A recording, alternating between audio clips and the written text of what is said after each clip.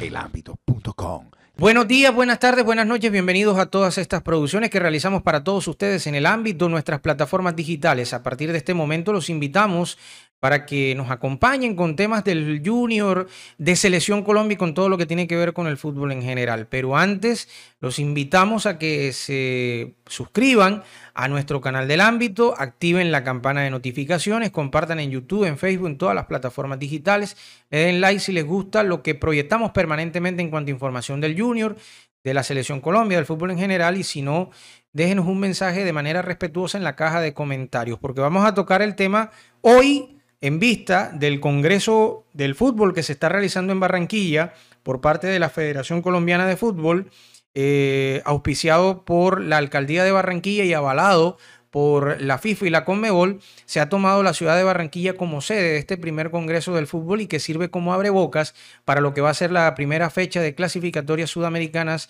a la Copa del Mundo del 2026 eh, por eh, Sudamérica aquí en la Plaza de Barranquilla, el Colombia-Venezuela. Este es el abrebocas del Colombia-Venezuela y aprovechamos para eh, preguntarle al profesor Néstor Lorenzo sobre la planificación y también eh, poder conversar eh, con el profesor Carlos Mario Hoyos nuevamente, pero esta vez hablando ahora de selección de Colombia. Una palabra autorizada o dos palabras autorizadas que han dialogado con todos nosotros. Pero antes les quiero dejar este mensaje importante.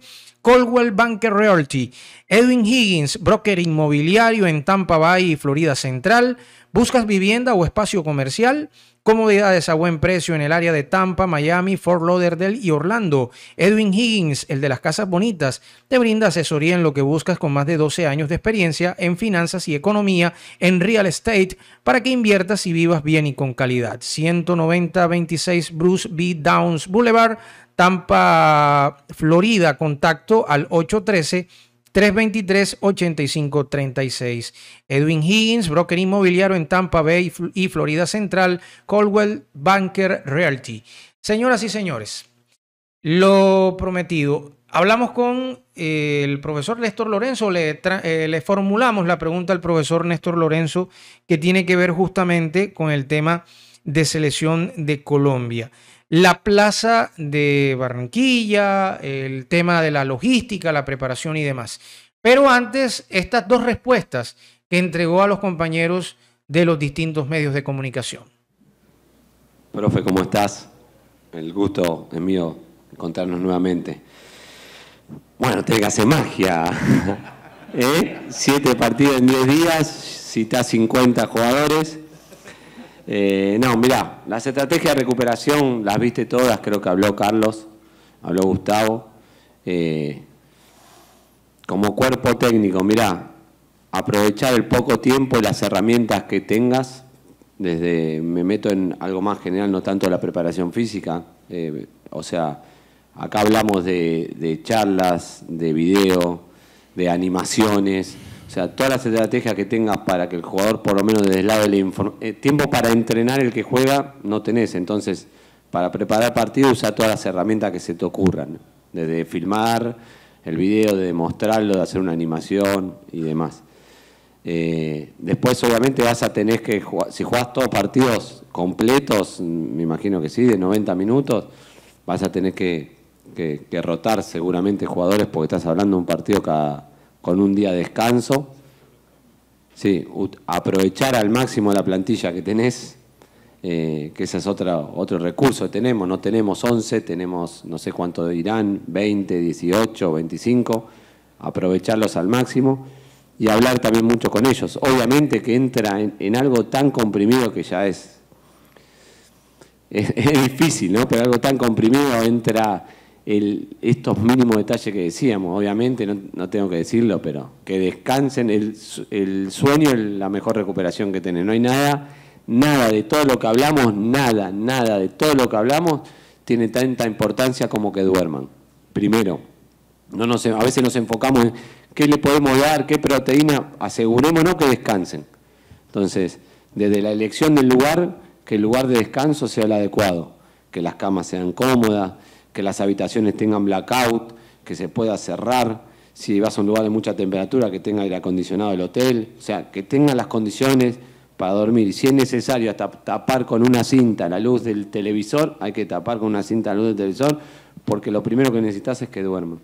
Y después todo el ingenio y las estrategias y charlar, charlar mucho. No sé si Doc le quiere decir algo particular.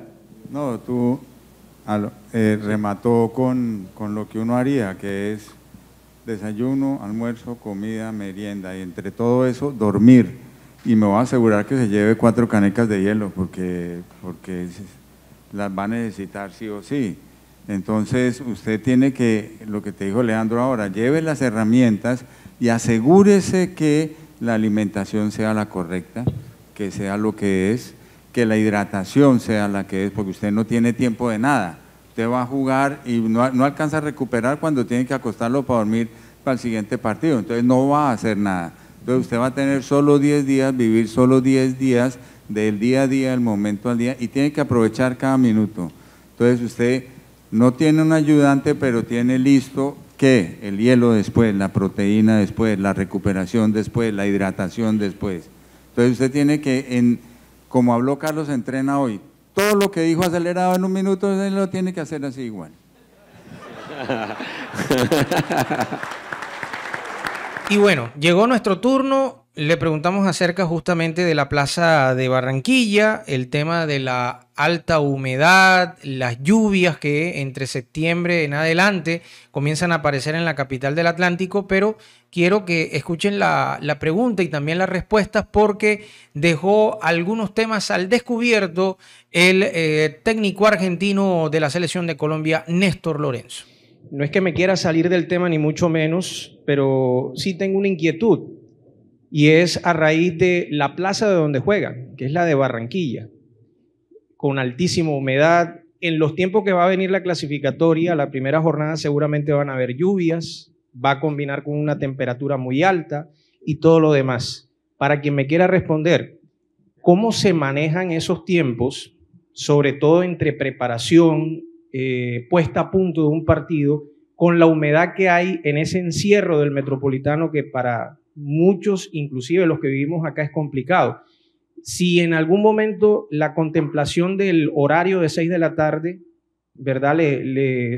Ayuda a ustedes a que el equipo esté un poco más fresco en ese sentido, o definitivamente eh, se piensa sacar provecho a 3 y 30, 4 de la tarde, como se consiguió en Brasil 2014 y que usted, profesor Lorenzo, lo vivió también, al igual que Amaranto y muchos de ustedes. Gracias. Bueno, eh, en cuanto a la logística y, a la sede de Barranquilla con la selección, la verdad que a mí me, trae muy, muy, gratos recuerdos, ¿no? Y, en la logística también creo que es el campo más, más grande, ¿no? Donde entra más, más gente. La calidez de la gente acá nos ha demostrado que, son los hinchas perfectos. Eh, en cuanto a, a los horarios de juego, de pronto se eligen. Yo creo que a, Venezuela, por ejemplo, no le vamos a sacar ventaja por, la, por el calor o por la humedad. Los entrenamientos se, elige entrenar a, horarios acordes, ¿eh? Eh, con mucha hidratación, con mucho apoyo de, lo que todo, todo lo que se habló hoy se, se, usará en, esos microciclos. Así que nada, creo que, hay una razón eh, histórica, otra logística y, de todas maneras está abierto eh, los, cambios de sede, no sé, mientras que, que, que, sea lo mejor para la selección lo vamos a elegir, lo vamos a ir eligiendo paso a paso, ¿no?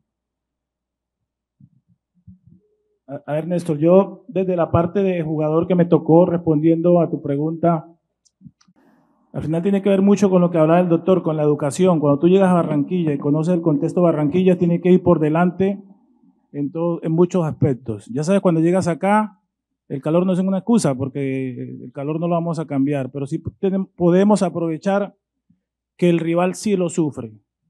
Eh, yo tengo que evitar estar deshidratado porque ya empiezo a perder.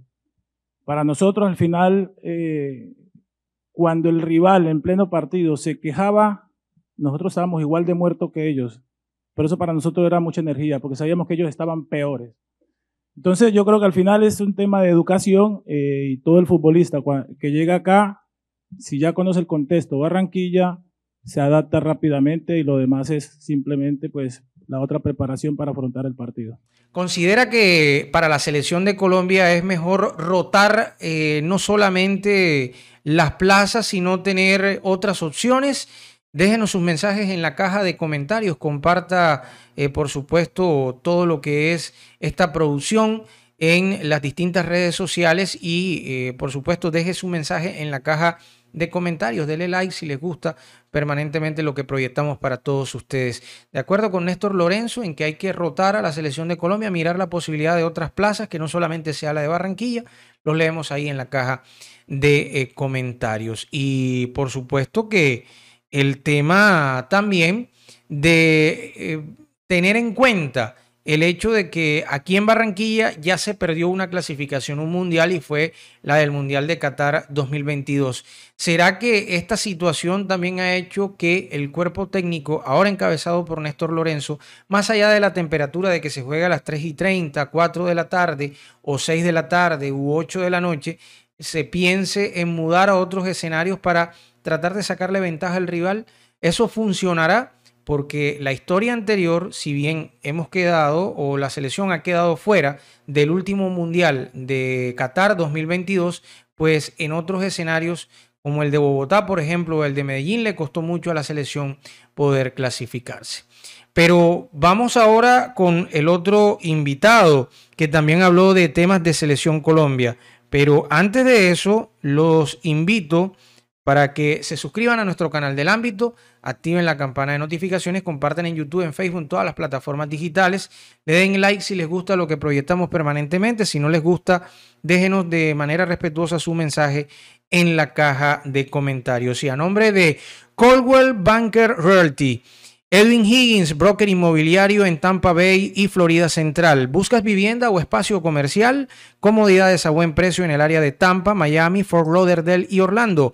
Edwin Higgins, el de las casas bonitas, te brinda asesoría en lo que buscas con más de 12 años de experiencia en finanzas y economía, en real estate, para que inviertas y vivas bien y con calidad. 19026 Bruce B. Downs Boulevard, Tampa, Florida. Contacto al 813-323-8536. Email edwinhiggins9 arroba gmail.com. Reitero, email edwinhiggins9 arroba gmail.com.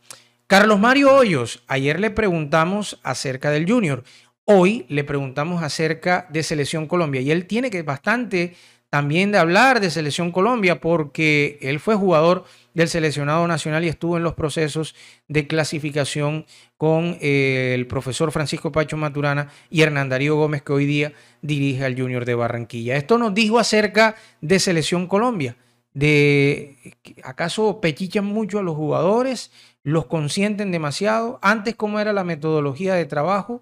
¿Será que el trabajo raso de antes y la modernidad de ahora han hecho que los jugadores cambien en muchas cuestiones? Vamos a escuchar y ver al profesor Carlos Mario Hoyos. Un saludo muy especial. Este, yo creo que eh, el cuerpo técnico de la selección tiene muy claro ya lo que es todo el mapa de los jugadores, el conocimiento. Eh, el entrenador, el seleccionador de, la selección tiene una ventaja grande, lleva muchos años en el fútbol colombiano, eh, conoce muy bien lo que es la idiosincrasia de nuestro fútbol y creo que el respaldo que tiene de su cuerpo técnico y el conocimiento le está ayudando a redondear una idea, un modelo de juego y que cada que hay una convocatoria yo creo que lo están nutriendo de toda esa información que quiere el cuerpo técnico para cada uno de los jugadores con unas convocatorias me parece muy, muy acertadas. Seguramente siempre va a faltar alguno, siempre vamos a querer que, llegue alguien que, uno cree que puede estar. Pero es la selección del entrenador, del cuerpo técnico y que uno aspira que no, que no se equivoquen. Entonces en ese orden de ideas, la elección que ellos hacen eh, me, me pareció muy acertada, con jugadores con, muy buena proyección, otros que ya vienen en el proceso anterior y que le van a dar ese toque de experiencia. Y el que el fútbol que, el profe quiere hacer eh, se está viendo reflejado en lo que fue los partidos amistosos y ahora en la eliminatoria, eso es lo que, lo que aspiramos y lo que ellos mismos han, han hablado, que se inicie este, este nuevo proceso con, con un buen fútbol, ganando, gustando y, esa es la idea de, todos los colombianos y lógicamente ellos como cuerpo técnico. Parece una situación eh, particular, extraña quizás, que antes habían laterales izquierdos. Hoy el promedio de laterales izquierdos que hay, es, hay un volumen de laterales izquierdos, pero no todos son eh, considerados para poder ser llamados a Selección Colombia. ¿Por qué sucede eso, profe, desde esa posición que usted conoce perfectamente?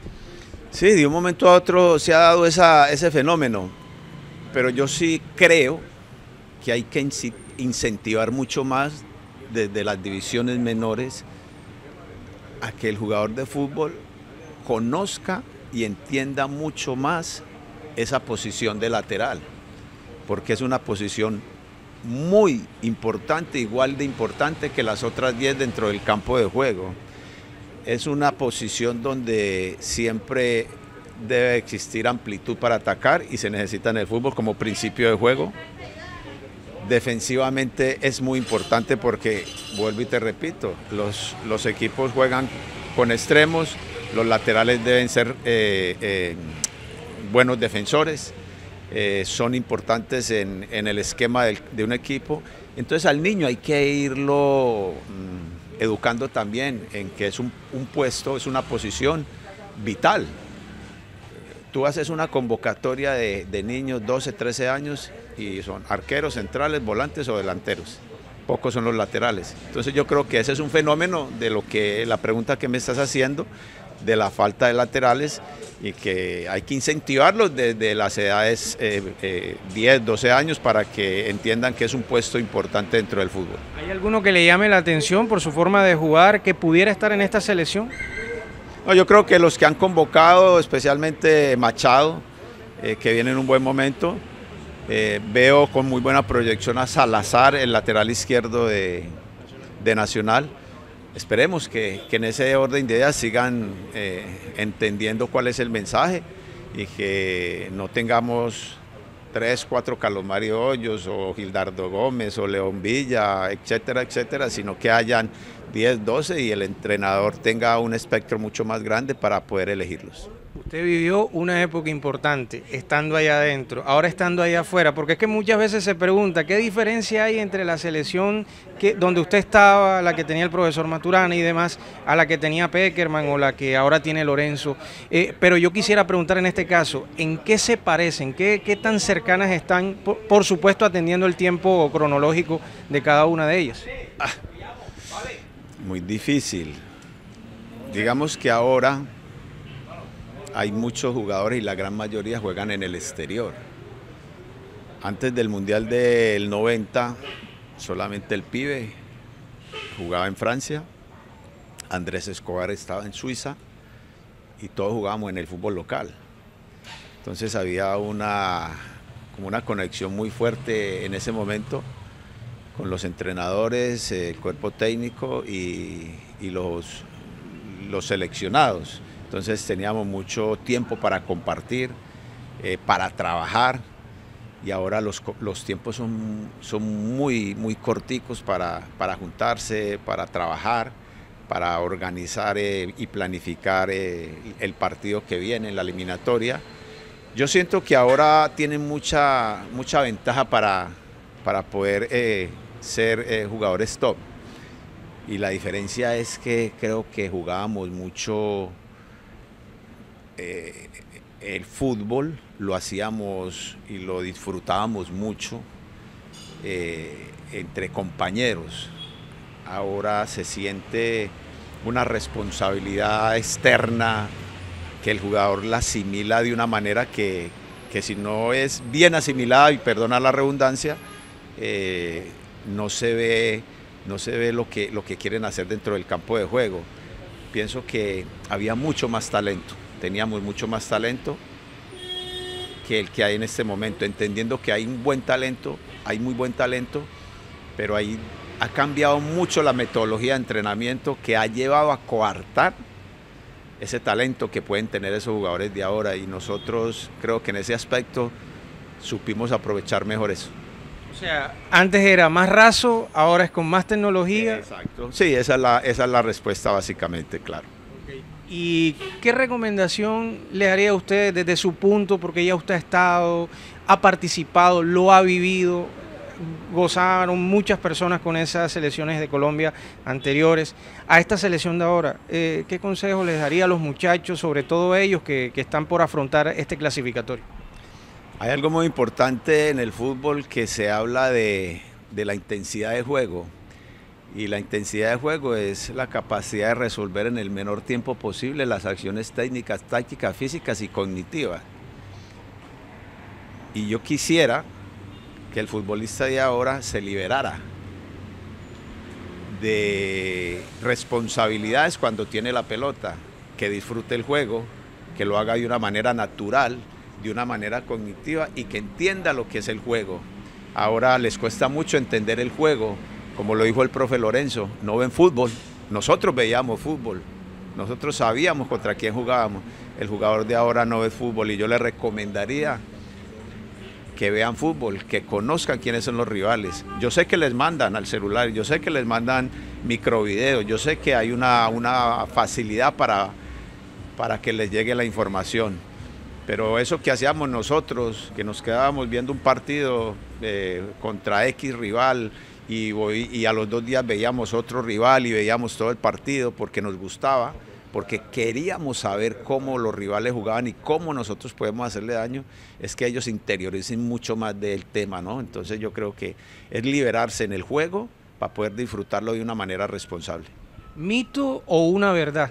Jugar a las 3 y 30, a las 4 de la tarde en el Metropolitano, eso no debe cambiar como alguna vez lo estipuló el profe Pacho Maturana, el profesor Hernán Darío Gómez, con esos cambios que se dan de jugar a las 5, a las 6, a las 8 de la noche. Yo creo que hay algo muy importante. Cuando jugábamos acá, también estábamos muertos, reventados, pero mirábamos a los rivales y estaban peor que nosotros. Entonces esa es la parte donde debemos aprovechar y estar mejor preparados que ellos en la hidratación, en la comida, en el descanso, porque eh, como lo dijo el profe Lorenzo, sacarle ventaja a Venezuela no, no es por ahí. Entonces pero yo sí le puedo sacar Venezuela, eh, le puedo sacar ventaja a Bolivia, yo sí le puedo sacar ventaja a los peruanos, yo sí le puedo sacar eh, a los uruguayos en otro sentido, entonces hay que prepararse bien, hay que alimentarse bien, fisiológicamente todos esos aspectos que maneja la parte eh, de, de los médicos, de los preparadores físicos, hay que intentar estar por encima de los rivales. Y el jugador que se quejó mucho en la clasificatoria anterior, que la temperatura que nos están reventando, que las piernas y demás no puede estar en la selección, porque es que la casa de la selección es Barranquilla. Ya sigue clarito. Hay que estar bien preparado para, para poder estar en, eh, a nivel de selección. O sea, los jugadores que han estado y estamos en selección es porque somos jugadores top. Y, el ser top no es solamente porque técnicamente sos bueno, sino porque te seas inteligente, que cognitivamente puedas desarrollar las acciones de juego. Ahora se habla mucho de la inteligencia de juego. Hay que tener inteligencia de juego. Y a veces prefiero un jugador menos talentoso, pero que entienda el juego. ¿Es mejor un sargento paternal a una persona flexible y paternal? No, yo creo que ni mucho ni tanto. Yo creo que uno tiene que ser eh, exigente, pero también tiene que dar eh, posibilidades de que el jugador le fluya, que el jugador haga, que el jugador invente, pero todo a partir de estar bien preparado. Se lo pregunto porque hay muchos jugadores que en este tiempo es mimado y antes yo entiendo que no se mimaba tanto. El tema es que la educación ha cambiado. Entonces, cuando los padres de ahora crían a sus hijos, no se les puede regañar, no se les puede pegar, no se les puede hablar duro. Entonces, ese chico, ese niño que creció y llegó a los 20 años y fue a la selección y llega el técnico y, medio lo, aprieta y, y se bajonea por eso, esa es la razón, esa es la situación. Nosotros nos criaron en otro ambiente, con otra situación, y más que nos hayan criado es ¿Cómo nos formamos? Nosotros salimos de jugar en la calle, de no estar en escuela. Yo nunca estuve en una escuela de fútbol. Mi escuela de fútbol fue jugar banquitas en la calle, ir al barrio del frente para jugar un desafío contra el otro equipo.